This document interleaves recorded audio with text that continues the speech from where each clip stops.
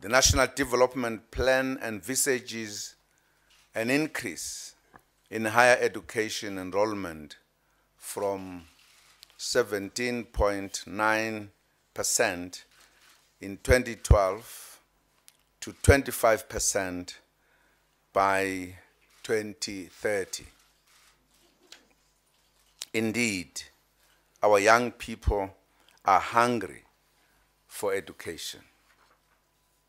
The building of new institutions is designed to respond to this hunger for education and give our youth an opportunity to earn the skills that would enable them to lead this country in future.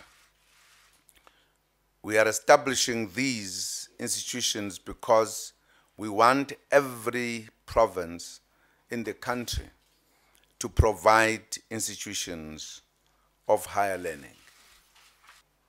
I'm pleased to announce today the names of the new universities. There will be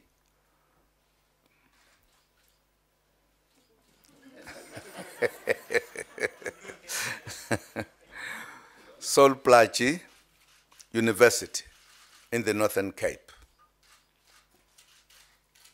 and the University of Mpumalanga.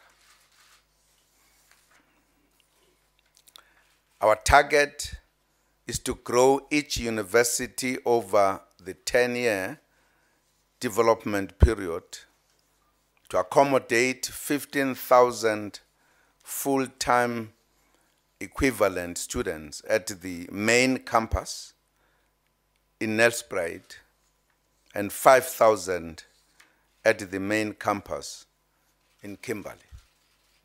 With these targets in mind, the planned start in 2014 will accommodate a modest initial intake of 150 students at Plaatje and 140 in Mpumalanga.